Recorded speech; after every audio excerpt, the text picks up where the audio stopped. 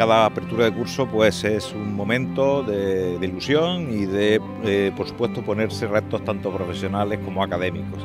Y en ese sentido creo que inauguramos un, curso en el que tenemos eh, retos y desafíos importantes. La idea es ir eh, actuando en el campus en diferentes frentes, en diferentes ámbitos, para mejorarlo, potenciarlo y desarrollarlo desde temas de infraestructuras, como ha comentado el rector, hasta bueno, también de servicios, potenciar, mejorar la oferta de servicios que prestamos en, el campus de Melilla.